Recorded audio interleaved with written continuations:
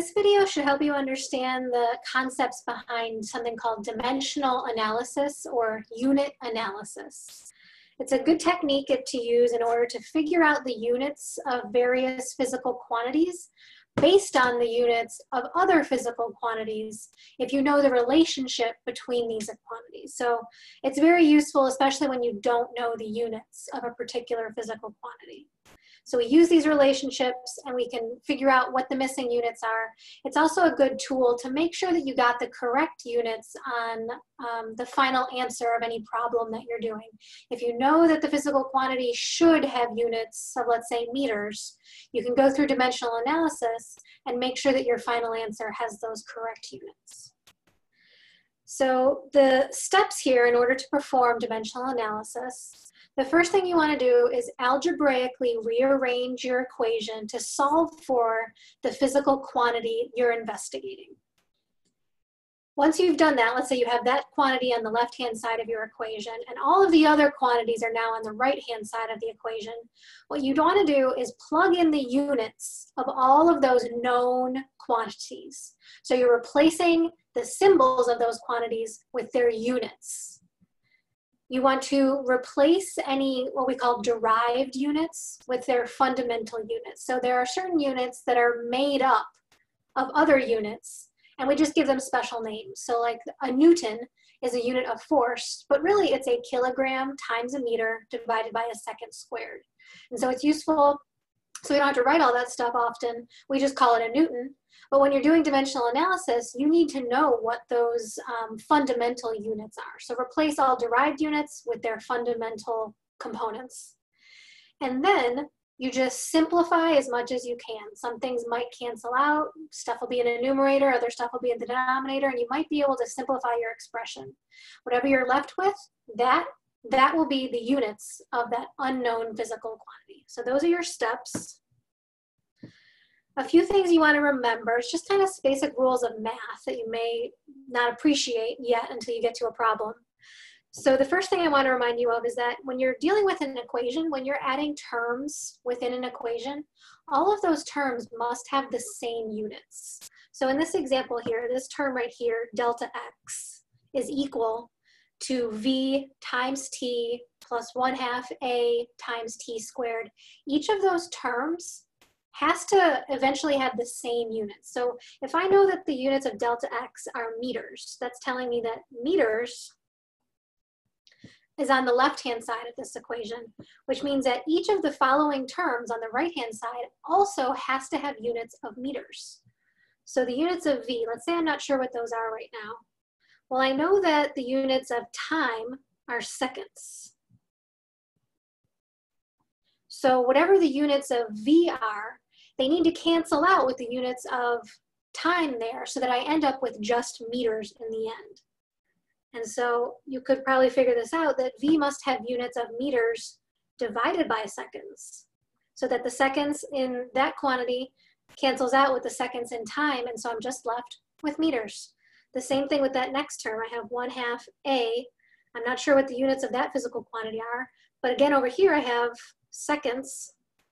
This time it's squared because it's going to be times squared. So I have seconds squared.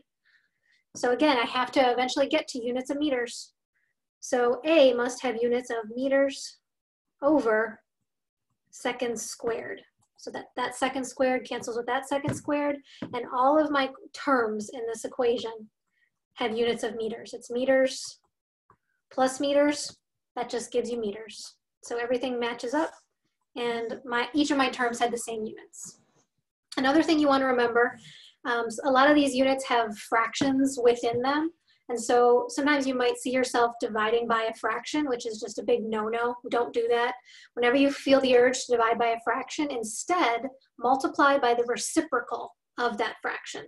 So I have this really ugly expression right here I have a fraction divided by another fraction. I would never write this. This is just asking to make mistakes. Instead, I would write the first thing in the numerator, the meters squared times seconds divided by newtons. And now I'm going to multiply by the reciprocal of that fraction in the bottom. So, so now I'm going to flip it over. Reciprocal just means to flip that fraction. So this term right here, I'm going to flip it over. So I have meters over seconds squared times newtons cubed. And so now you can simplify this. I have meters squared times meters is meters cubed. I have seconds up top. Now I have newtons times newtons cubed. That's newtons to the fourth. Seconds squared. My seconds in the numerator cancels out um, with one of the seconds in the denominator. So now I hang at meters cubed over newtons to the fourth times seconds. So always remember that trick as well. All right, let's do one example together, kind of putting all of this stuff together. Let's go through all of those steps. I have an equation here that the symbol rho, it's a Greek letter rho, is equal to F divided by AL cubed. So the first step, solve the, the algebraic expression for the unknown quantity. So that's symbol L. So I have rho is equal to F over A L cubed. I need to solve for L cubed. So I'm going to multiply both sides by L cubed right now. That'll take it out of the denominator and it moves it over to the left-hand side of this equation. Um, so now I have L cubed times rho is equal to F over A. I'm going to divide both sides by rho. And so now I get L cubed is equal to F over A over rho. The last step here is I need to cube root everything to get L all by itself. So L is the cube root of F divided by A divided by rho. So there's my expression. Solving, I solved algebraically for my unknown physical quantity.